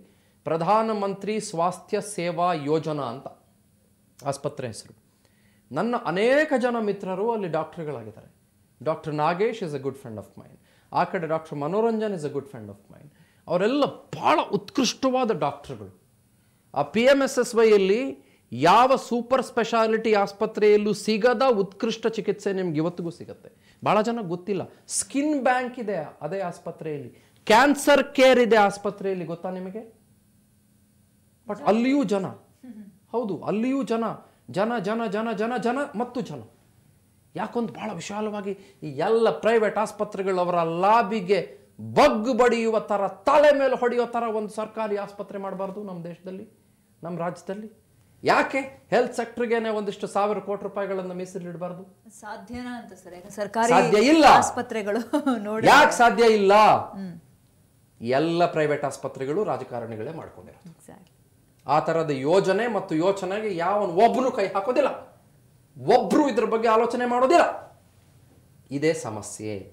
ಮತ್ತು ಡಾಕ್ಟ್ರುಗಳಿಗೆ ಸಮಸ್ಯೆ ಇಲ್ವಾ? ಇದೆ. ಪಾಪ ನಿಜವಾಗ್ಲೂ ಡಾಕ್ಟ್ರುಗಳಿಗೆ ಸಮಸ್ಯೆ ಇದೆ. ನಾನು ಪತ್ರಕರ್ತ ಅಂತಂದಾಗ ನ್ಯೂಟ್ರಲ್ ಆಗಿ ಮಾತಾಡಬೇಕು. ಮೆಡಿಕಲ್ ಎಥಿಕ್ಸ್ ಬಗ್ಗೆ ನಾನು ಆಮೇಲೆ ಮಾತಾಡ್ತೀನಿ. ಯಾಕೆ ಸಮಸ್ಯೆ ಇಲ್ಲ ಡಾಕ್ಟ್ರುಗಳಿಗೆ? ಒಬ್ಬ ಡಾಕ್ಟ್ರು ಪಿ ಯು ಸಿ ಆದಮೇಲೆ ಹದಿಮೂರು ವರ್ಷ ಪ್ರಯತ್ನ ಪಟ್ಟರೆ ಆತ ಒಬ್ಬ ರೆಕಗ್ನೈಸ್ಡ್ ಡಾಕ್ಟರ್ ಆಗೋದಕ್ಕೆ ಸಾಧ್ಯ. ಎಂ ಬಿ ಬಿ ಎಸ್ ಮಾಡಿದವರಲ್ಲ ಡಾಕ್ಟ್ರಲ್ಲ. ಆಮೇಲೆ ನಾವು ಪವರ್ ಟಿ ವಿಯಲ್ಲಿ ಒಂದು ಭಾಳ ನೀಟಾಗಿರೋ ಒಂದು ನಿರ್ಧಾರ ತೊಗೊಂಡಿದ್ದೀವಿ ನಿಮಗೂ ಕೂಡ ಭಾಳ ಚೆನ್ನಾಗುತ್ತೆ ಗೊತ್ತು ಏನು? ಯಾರೋ ನಮಗೊಬ್ರು ಮೆಸೇಜ್ ಕಳಿಸಿದ್ರೆ, ವೈದ್ಯರ ನಿರ್ಲಕ್ಷ್ಯ, ಗರ್ಭಿಣಿ ಸಾವು ಅಂತ ಮೆಸೇಜ್ ಕಳಿಸಿದ್ರೆ, ನಮಗೆ ಗರ್ಭಿಣಿ ಕುಟುಂಬದ ನೋವು ನಮಗೆ ಅರ್ಥ ಆಗುತ್ತೆ, ಇಲ್ಲ ಅಂತ ನಾನು ಹೇಳೋದಿಲ್ಲ. ಆದರೆ ನಾನು ಡಾಕ್ಟ್ರಲ್ಲ ಡಿಸೈಡ್ ಮಾಡಿ ವೈದ್ಯನನ್ನು ಹಿಡ್ಕೊಂಡು ಬೈಯೋದಕ್ಕೆ. ನಾನು ಡಾಕ್ಟ್ರಾ ನನಗೆ ಗೊತ್ತಾ? ಏನು ಸಮಸ್ಯೆ ಅಂತ ನನಗೆ ಗೊತ್ತಾ? ಹೃದಯಾಘಾತ, ನಿರ್ಲಕ್ಷ್ಯ, ರೋಗಿ ಸಾವು, ವೈದ್ಯರ ನಿರ್ಲಕ್ಷ್ಯ, ರಂಪ ರಾಮಾಯಣ ಅಂತಂದರೆ ನನಗೆ ಗೊತ್ತಾ? ನಾನೇನು ಡಾಕ್ಟ್ರಾ ಮಲ್ಟಿಪಲ್ ಫ್ಯಾಕ್ಟರ್ಸ್ ಇರುತ್ತೆ ರೀ, ಒಬ್ಬ ರೋಗಿ ಸಾಯೋದಕ್ಕೆ. ಮತ್ತು ಯಾವ ವೈದ್ಯನೂ ಕೂಡ ರೋಗಿ ಸಾಯಬೇಕು ಅಂತ ಎಲ್ಲಿಯೂ ಕೂಡ ಚಿಕಿತ್ಸೆ ಕೊಡೋದಿಲ್ಲ. But there are few people there are few people ಇದ್ದಾರೆ. ಈ ಕಾರ್ಪೊರೇಟ್ಸ್ಗಳು ಪ್ರೈವೇಟ್ ಮೆಡಿಕಲ್ ಕಾಲೇಜುಗಳಲ್ಲಿ ಎರಡೆರಡು ಕೋಟಿ ಮೂರು ಮೂರು ಕೋಟಿ ಡೊನೇಷನ್ಗಳನ್ನು ಕೊಟ್ಟುಬಿಟ್ಟು ಓದಿಕೊಂಡು ಬಂದವರು, ಆಸ್ಪತ್ರೆ ಶುರು ಮಾಡಿದವರು, ಭಾಳ ಜನ ಜನರಿಂದ ಕಿತ್ತೋದಕ್ಕೆ ಅಂತಾನೆ ಆಸ್ಪತ್ರೆಗಳನ್ನು ಮಾಡ್ಕೊಂಡಿದ್ದಾರೆ. ನಾನು ಅದನ್ನೂ ಇಲ್ಲ ಅಂತ ಹೇಳೋದಿಲ್ಲ but many of them are good people ಭಾಗಶಃ ಅಲ್ಲ, ಬಹುತೇಕ ಡಾಕ್ಟ್ರುಗಳು, ಎಂಬತ್ತೆಂಬತ್ತೈದು ಪರ್ಸೆಂಟ್ ಡಾಕ್ಟ್ರುಗಳು, ಒಳ್ಳೊಳ್ಳೆ ಡಾಕ್ಟ್ರುಗಳು ನಮ್ಮ ಜೊತೆಗೆ ಇವತ್ತಿದ್ದಾರೆ. ಆಯಿತು, ನೀವು ಹೇಳ್ತೀರಲ್ಲ, ಸರ್ಕಾರದವರು ಕರ್ಬ್ ಮಾಡೋಣ ಕರ್ಬ್ ಮಾಡೋಣ, ಈ ಈ ಮಾಬ್ ಲಿಂಚಿಂಗ್ನ ನಾವು ಕರ್ಬ್ ಮಾಡೋಣ, ಅಥವಾ ಡಾಕ್ಟ್ರುಗಳ ಈ ಡಬಲ್ ಸ್ಟ್ಯಾಂಡರ್ಡ್ಸ್ನ ಕರ್ಬ್ ಮಾಡೋಣ ನೀವೆಲ್ಲ ಹೇಳ್ಕೊಂಡು ತಿರುಗ್ತಿರಲ್ಲ ನೀವು?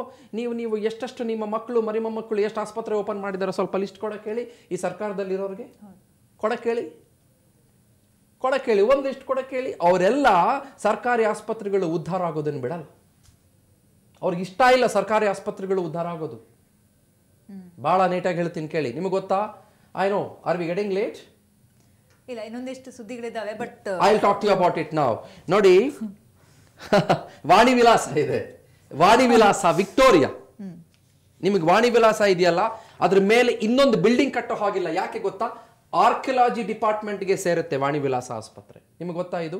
ಆಗಿನ ಕಾಲದ ಬ್ರಿಟಿಷರ ಬಿಲ್ಡಿಂಗ್ ಅದು ವಾಣಿ ವಿಲಾಸ ಆಸ್ಪತ್ರೆ. ನೀವು ಅದ್ರ ಮೇಲೆ ಒಂದು ಕಲ್ಲು ಹೀಗೆ ಇಡುವ ಹಾಗಿಲ್ಲ. ಅಯ್ಯೋ, ಇಲ್ಲ ಸಾರ್, ನಮಗೆ ಗೊತ್ತಾಗಲ್ಲ ಸಾರ್ ಅಂತಾರೆ ವಾಣಿ ವಿಲಾಸ ಆಸ್ಪತ್ರೆಯಲ್ಲಿ ನಾವೆಲ್ಲ ಪತ್ರಕರ್ತರಾಗಿರೋರು ಹೋಗಿ ನೋಡಬೇಕು ಸಬಿತಾ, ನಿಜ ಹೇಳ್ತೀನಿ ಕೇಳಿ. ಬಾಣಂತಿಯರು ಆಗ ತಾನೇ ಮಗುವಿಗೆ ಜನ್ಮ ಕೊಟ್ಟ ಬಾಣಂತಿಯರು ಇಮ್ಮಿಡಿಯೇಟ್ಲಿ ವರಂಡಾದಲ್ಲಿ ಮಲ್ಕೊಂಡಿರ್ತಾರೆ.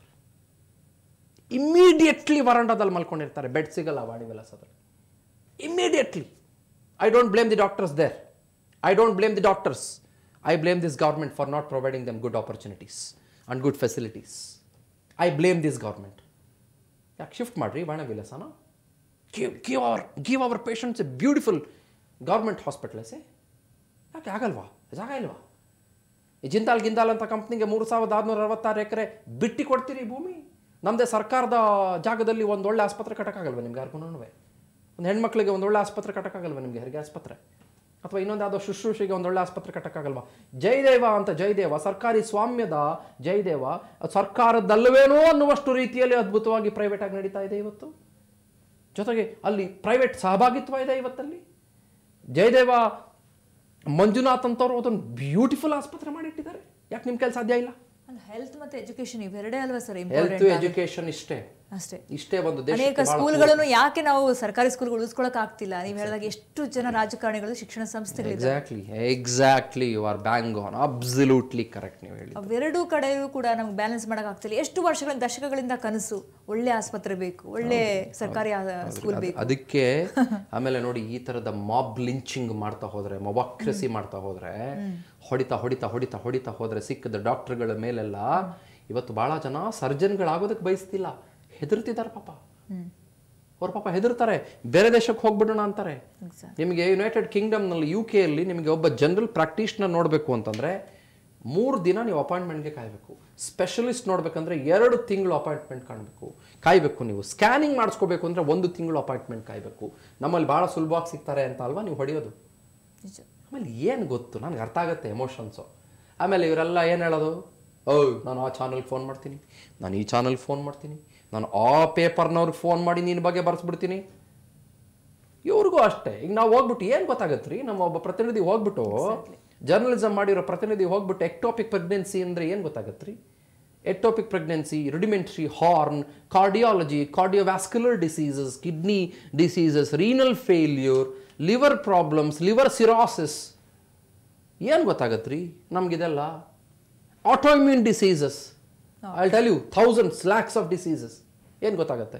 ಒಂದು ಮೈಕ್ ಹಿಡ್ಕೊಂಡು ಅದ್ರ ಬಗ್ಗೆ ವೈದ್ಯ ನಿರ್ಲಕ್ಷ್ಯ ನಿರ್ಲಕ್ಷ್ಯ ನಿರ್ಲಕ್ಷ್ಯ ಅಂತ ಹೇಳಿದ್ರೆ ಏನು ಗೊತ್ತಾಗುತ್ತೆ? ಯಾವನಿಗೂ ಏನು ಗೊತ್ತಾಗಲ್ಲ. ಲೆಟ್ಸ್ ಫೈಂಡ್ ಔಟ್ ಸೊಲ್ಯೂಷನ್ ಆಮೇಲೆ ಒಂದು ಲಾಸ್ಟ್ ಹೇಳಿ ಮುಗಿಸ್ತೀನಿ. ಸರ್ಕಾರ ಈಗಲೂ ನಾನು ಯಾರನ್ನೂ ಬ್ಲೇಮ್ ಮಾಡ್ತಿಲ್ಲ. ರೋಗಿಗಳನ್ನು ಬ್ಲೇಮ್ ಮಾಡ್ತಿಲ್ಲ ವೈದ್ಯರನ್ನು ಬ್ಲೇಮ್ ಮಾಡ್ತಿಲ್ಲ. ದುಡ್ಡು ತಿನ್ನುವ ದನದಾಹಿ ಆಸ್ಪತ್ರೆಗಳು ಇದ್ದಾವೆ ಇದ್ದಾವೆ ಖಂಡಿತ ಇದ್ದಾವೆ ಎಚ್ಚೆತ್ಕೊಳ್ಬೇಕು. ಒಳ್ಳೊಳ್ಳೆ ವೈದ್ಯರು ಇದ್ದಾರೆ. ಎಚ್ಚೆತ್ಕೊಳ್ಬೇಕು. ಮತ್ತು ಇವ್ರು ಕೇಳೋದು ಡಾಕ್ಟರ್ಸು ಏಳು ವರ್ಷ ಜೈಲು ಶಿಕ್ಷೆ ಆಗಬೇಕು ಹೊಡೆದವ್ರಿಗೆ ಅಂತ. ಅದು ಕಾನೂನಾತ್ಮಕ ಸಾಧ್ಯ ಇಲ್ಲ. ಯಾಕಂದರೆ ಅಸಾಲ್ಟ್ ಅಂತಂದರೆ ಅಸಾಲ್ಟ್ ನನಗೂ ನನ್ನ ಮೇಲೆ ಅಸಾಲ್ಟ್ ಆದರೂ ಅಸಾಲ್ಟೇ ಇನ್ನೊಬ್ಬರ ಮೇಲೆ ಅಸಾಲ್ಟ್ ಆದರೂ ಅಸಾಲ್ಟೇ. ಅವರಿಗೆ ಅಂತ ಸ್ಪೆಷಲ್ ಕಾನೂನು ತರೋಕ್ಕಾಗೋದಿಲ್ಲ ಬಟ್ ಸರ್ಕಾರ ಮೋದಿ ಗೌರ್ಮೆಂಟ್ ಎಚ್ಚೆತ್ತುಕೊಳ್ಳದಿದ್ದರೆ ಇದರ ಬಗ್ಗೆ ಕ್ರಮ ತೆಗೆದುಕೊಳ್ಳದಿದ್ದರೆ ಮತ್ತೆ it's no it's a loss to India it's a loss to society ನಾಳೆ ಎಲ್ಲ ಡಾಕ್ಟರ್ಗಳು ಫಾರಿನ್ಗೆ ಹೋದ್ರೆ ಏನು ಮಾಡ್ತೀರಿ? Exactly what will do this the problem yes ಕೊನೆಯದಾಗಿ ಒಂದು ಪ್ಯಾಕೇಜ್ ನೋಡ್ಬಿಡೋಣ ಸರ್ ಇವತ್ತು ಸತತ ಎರಡನೇ ಬಾರಿಗೆ ಕೇಂದ್ರದಲ್ಲಿ ಮೋದಿ ನೇತೃತ್ವದ ಎನ್ ಡಿ ಎ ಸರ್ಕಾರ ಅಧಿಕಾರಕ್ಕೆ ಬಂದಿದೆ. ಮೊದಲ ಕಲಾಪ ಆರಂಭ ಆಯಿತು ಸಂಸತ್ತಿನ ಕಲಾಪ. ಅದರಲ್ಲೂ ವಿಶೇಷವಾಗಿ ಕನ್ನಡದಲ್ಲಿ ಅಂದ್ರೆ ಕರ್ನಾಟಕದಲ್ಲಿ ಆಯ್ಕೆ ಆಗಿರುವಂಥ ಎಂ ಪಿಗಳು ಕನ್ನಡದಲ್ಲಿ ಪ್ರಮಾಣ ವಚನವನ್ನ ಬೋಧಿಸಿದ್ರು ಅಂದ್ರೆ ಸ್ವೀಕರಿಸಿದ್ರು. ಸೊ ಬನ್ನಿ ಹಾಗಾದ್ರೆ ಹೇಗಿತ್ತು ಅಂತ ನೋಡ್ಕೊಂಡ್ಬರೋಣ ಡಿ ವಿ ಸದಾನಂದಗೌಡ ಪ್ರತಾಪ್ ಸಿಂಹ ಎಂಬ ಸುರೇಶ್ ಎಂಬ. ಸುಮಲತಾ ಅಂಬರೀಶ್ ಎಂಬ ಹೆಸರಿನವಳಾದ ನಾನು.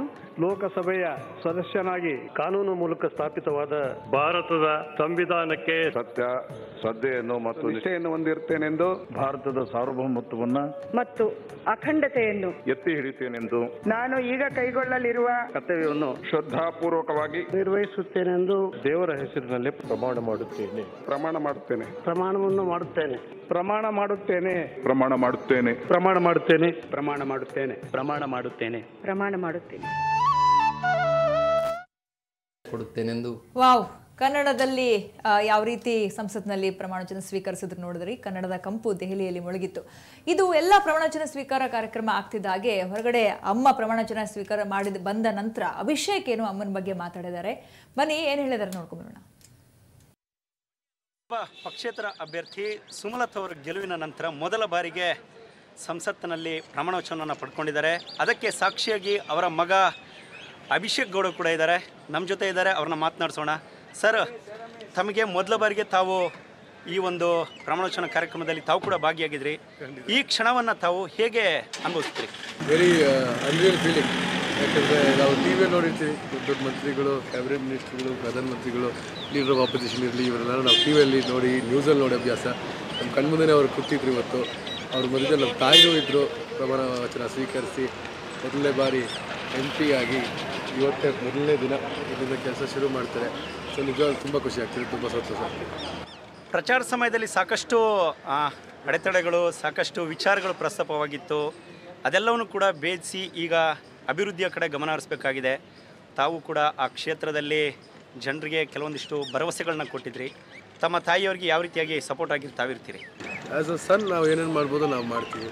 ನಾವು ಭರವಸೆ ಕೊಟ್ಟಿದ್ದೀವಿ ಅಂತ ನೀವು ಹೇಳ್ತೀರಾ? ನಾವು ಹೇಳಿದ್ದಿಷ್ಟೇ ಜನರ ಹತ್ರ ನಮ್ಗೆ ಒಂದು ಅವಕಾಶ ಕೊಡಿ. ನಾವು ಕೈಲ, ನಮ್ಮ ಕೈಲಾದಷ್ಟು ನಾವು ಮಾಡ್ತೀವಿ. ನಾವು ಬೆವರು ಸುರಿಸಿ ಹಗಲು ರಾತ್ರಿ ಕೆಲಸ ಮಾಡಕ್ಕೆ ಸಿದ್ಧವಾಗಿದೆ ಇದ್ದೀವಿ ನಮ್ಮ ನಾನಾಗಿರಲಿ ನಮ್ಮ ನಮ್ಮ ಸಪೋರ್ಟರ್ಸ್ ಆಗಿರಲಿ, ನಮ್ಮ ತಾಯಿ, ನಮ್ಮ ತಾಯಿನ ಯಾರ್ಯಾರು ಎಲ್ಲರೂ ಸೇರಿ ಗೆಲ್ಸವ್ರೆ. ಯಾರೋ ಒಂದು ಒಬ್ರದ್ದು ಕ್ರೆಡಿಟ್ ಅಲ್ಲ. ಸೊ ಅವರೆಲ್ಲರೂ ಕಷ್ಟಪಟ್ಟು ಕೆಲಸ ಮಾಡ್ತಾ ಮಾಡೋಕ್ಕಂತ ಹೆಲ್ಪ್ ಮಾಡೋದಂತೂ ಇದೆ ನಮ್ಮ ತಾಯಿನ. ಮತ್ತು ಅವರೇ ವೈಯಕ್ತಿಕವಾಗಿ ಅವ್ರ ವರ್ಕಿಂಗ್ ನೇಚರ್ ಹೆಂಗಿದೆ ಅಂತ ತಾವೆಲ್ಲ ಕೂಡ ಎಲೆಕ್ಷನ್ ಟೈಮಲ್ಲಿ ನೋಡಿದ್ದೀರಾ. ಸೊ ಆದಷ್ಟು ಕೆಲಸ ಕಷ್ಟಪಟ್ಟು ಕೆಲಸ ಮಾಡ್ತಾರೆ ಅಂತ ನನಗೆ ಭರವಸೆ ಇದೆ. ತಾವು ಸಂಸದೆಯ ಮಗನಾಗಿ ಹೊರತುಪಡಿಸಿ ಮಂಡ್ಯ ಕ್ಷೇತ್ರದ ಒಬ್ಬ ಜನಸಾಮಾನ್ಯರಾಗಿ ತಮ್ಮ ತಾಯಿಗೆ ಈ ಸಂದರ್ಭದಲ್ಲಿ ಏನು ಹೇಳೋದಕ್ಕೆ ಬಯಸ್ತೀರಿ? ಫುಟ್ಬಾಲ್ ಅವ್ರಿಗೆ ಕಂಗ್ರ್ಯಾಚುಲೇಷನ್ಸ್ ಅಂತ ಹೇಳಬೇಕು. ಇಷ್ಟೆಲ್ಲ ಕಷ್ಟಪಟ್ಟಿದ್ದೀವಿ ಇವತ್ತು. ರಿಸಲ್ಟ್ ನಮ್ಮ ಕಡೆಗೆ ಬರುವ ಆಗಿ ದೇವರ ಆಶೀರ್ವಾದ ಮಾಡಿದ್ದಾರೆ. ಆಮೇಲೆ ಇಷ್ಟಕ್ಕೆ ಮಾತ್ರ ಅಲ್ಲ ಒಂದು ಮುಂದಿನ ಐದು ವರ್ಷ ನಾವು ಕಷ್ಟಪಟ್ಟು ಕೆಲಸ ಮಾಡ್ತಾರೆ ಅನ್ನೋದು ಗೊತ್ತು. ಅದಕ್ಕೆ ನಾವು ಸಪೋರ್ಟ್ ಆಗಿ ನಿಂತಿರ್ತೀವಿ ಅಂತ ಹೇಳಿದ್ರು. ಓಕೆ, ಇನ್ನೊಂದು ಮುಖ್ಯವಾಗಿ ನಿಖಿಲ್ ಕುಮಾರಸ್ವಾಮಿ ಕೂಡ ತಮ್ಮ ಆತ್ಮೀಯ ಸ್ನೇಹಿತರು. ಚುನಾವಣಾ ಸಂದರ್ಭದಲ್ಲಿ ಕೆಲವೊಂದಿಷ್ಟು ಮನಸ್ತಾಪಗಳಿತ್ತು. ಈಗ ತಾವು ಅವ್ರ ಜೊತೆ ಮಾತನಾಡಿದ್ದೀರಾ? ಏನಾದರೂ ಕೆಲವೊಂದಿಷ್ಟು ಸಿನಿಮಾ ಕ್ಷೇತ್ರಗಳ ಬಗ್ಗೆ ಏನಾದರೂ ಮಾತುಕತೆ ನಮ್ಮ ಆ್ಯಕ್ಚುಲಿ ನನಗೆ ಎಲೆಕ್ಷನ್ ಆದಮೇಲೆ ನನ್ನ ಡಬ್ಬಿಂಗ್ ಆಮೇಲೆ ರಿಲೀಸು ಪ್ರಮೋಷನ್ ಆ ಬ್ಯುಸಿಲಿದ್ದೀನಿ ಇವತ್ತು ಇವತ್ತು ಒಂಚೂರು ಟೈಮ್ ಮಾಡ್ಕೊಂಡು ಇಲ್ಲಿಗೆ ಬಂದೆ. ಸೊ ಹಾಗಾಗಿ ಮಾತಾಡೋಕ್ಕಾಗಿಲ್ಲ. ಆ್ಯಕ್ಚುಲಿ ಹೇಳ್ಬೇಕಂದ್ರೆ ಸುಮಾರು ಜನ ನನ್ನ ಸ್ನೇಹಿತರೆಲ್ಲ ನನಗೆ ವಿಶ್ ಮಾಡ್ಕೊಂಡು ಟ್ರೈ ಮಾಡಿದ್ದಾರೆ ಅವ್ರು ಅವ್ರನ್ನೂ ಕೂಡ ಮಾತಾಡ್ಸೋಕ್ಕಾಗ್ತಿಲ್ಲ. ಯಾಕೆ ತುಂಬ ಬಿಸಿ ಆಗಿಬಿಟ್ಟಿದ್ದೀನಿ ಲಾಸ್ಟ್ ಒನ್ ಟು ಮಂತ್ಸ್ ಈಗ ಹೋಪ್ಲಿ ಮುಂದಿನ ತಿಂಗಳು ಸ್ವಲ್ಪ ಫ್ರೀ ಆಗ್ತೀವಿ. ಆವಾಗ ಮಾತಾಡ್ಸ್ಬೋದು ಓಕೆ ಥ್ಯಾಂಕ್ ಯು ಇದು ವಿಶೇಷವಾದಂತಹ selfie video chit chat that's wonderful Abhishek Ambareesh looks very positive always ನಾನು ಅವಾಗಲೇ ಒಂದು ಮಾತು ಹೇಳ್ತಾ ಇದ್ದೆ ಗಂಡನಿಗೆ ಹಿಂಸೆ ಅಂತ. ನಾನು ಅದ್ರ ಬಗ್ಗೆ ಮಾತಾಡಬೇಕು. ಇಂಡೋರ್ನಲ್ಲಿ ನೋಡಿ ಡಾಕ್ಟರ್ಗಳ ವಿಷಯ ಬಂತು. ಡಾಕ್ಟರ್ಸ್ ಇಂಡೋರ್ನಲ್ಲಿ ಒಬ್ಬನಿಗೆ ಸ್ಕಿನ್ ಅಲರ್ಜಿ ಆಯಿತು. ಡಾಕ್ಟರ್ ಟ್ರೀಟ್ಮೆಂಟ್ ಕೊಡಲಿಲ್ಲ ಅಂತ ಅಂದ್ಬಿಟ್ಟು ಗಂಡನಿಗೆ ಹಿಂಸೆ ಕೊಟ್ಟು ಆ ಡಾಕ್ಟರ್ನ ಹೆಂಡತಿನ murder ಮಾಡ್ತಾನೊಬ್ಬ it happen just few months ago just few months ago this is what we have to see mob lynching ಮಾತ್ರ ಅಲ್ಲ. ಅವನು ಯಾವ್ಯಾವ ಥರದಲ್ಲಿ ಡಾಕ್ಟ್ರಿಗೆ ಹಿಂಸೆ ಕೊಡ್ಬೋದು ಅಂತ ಅವನು ತಯಾರಿ ಮಾಡಿಕೊಂಡು ಓದಿಕೊಂಡು ಜೊತೆಗೆ he comes and plans a murder for a skin disease ಈ ತರಹದ ದುಷ್ಕೃತ್ಯಗಳನ್ನು ನಾವು ಖಂಡಿಸಬೇಕು ಅಂತ ಹೇಳೋದು. ಲೆಟ್ ಅಸ್ ಸಿ ಬಟ್ ವೈದ್ಯ ವೃತ್ತಿ is not a service anymore it has become an industry let see when it will become a service again ಸರ್ಕಾರದ ಕೈಯಲ್ಲಿದೆ. Thank you good